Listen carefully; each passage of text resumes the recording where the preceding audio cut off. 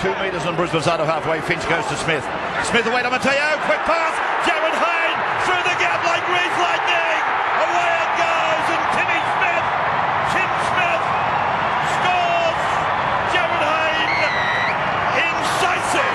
Yeah, Tim Smith started it and he finished it. It's a very good decision. You'll see it's the last tackle. Ben Hannett, I think, as the player rushes up out of the defence. Now, instead of trying to force a kick, Tim Smith summed up the situation through the short ball on the outside. Jarryd Hayne again supporting up the middle. Took advantage of the next pass. Last tackle. Player rushes up. Smith realises he can pass on the outside.